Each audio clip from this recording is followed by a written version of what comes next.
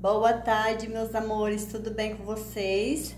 Hoje vamos fazer mais uma receitinha deliciosa para você comer no café da manhã, com lanche da tarde, que é um biscoito de polvilho montanha-russa. Já ouviram falar? Pois é, hoje nós vamos fazer, mas já liguei o meu forno, tá pré-aquecendo a 180 graus, porque essa receita é muito rápida de fazer. Então, você já deixa o seu forno ligadinho, porque daí essa receitinha em menos de 5 minutos tá pronto, tá bom? Então, vamos colocar aqui no copo do liquidificador três ovos, meia xícara de leite,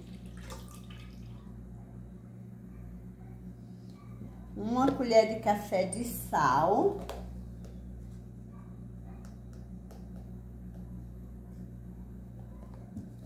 meia xícara de óleo ou azeite. Vou usar o azeite, mas se você não tiver, pode usar o óleo tranquilamente.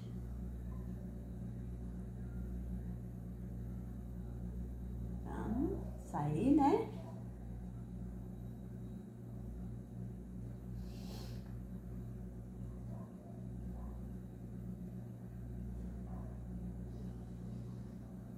E daí nós vamos usar polvilho. Eu vou fazer metade polvilho azedo e metade polvilho doce. Mas se você tiver um dos dois e quiser usar só um, você usa só um. Então, vamos estar colocando o azeite aqui também. Agora, vamos medir o nosso polvilho. Aqui eu já tenho o azedo.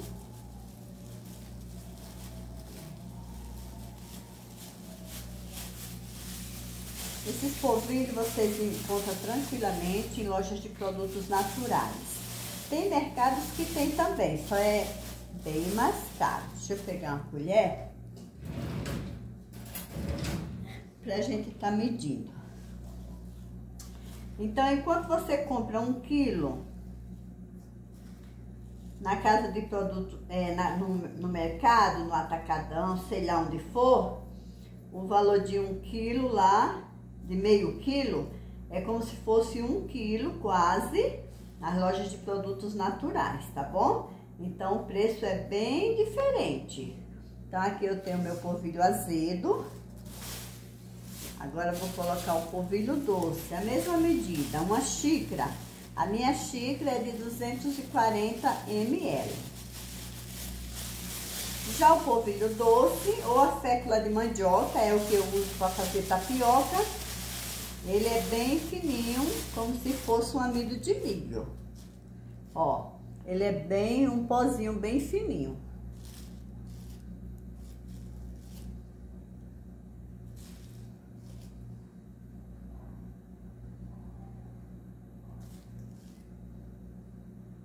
Tudo que é feito de mandioca eu gosto, gente. Polvilho.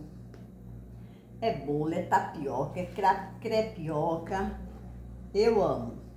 Ó, então agora nós vamos bater até ficar uma massa homogênea. Pronto, já batemos. Agora vamos estar colocando aqui nessa forma e tem 20 por 30 de diâmetro, tá bom? Ó, e não precisa untar.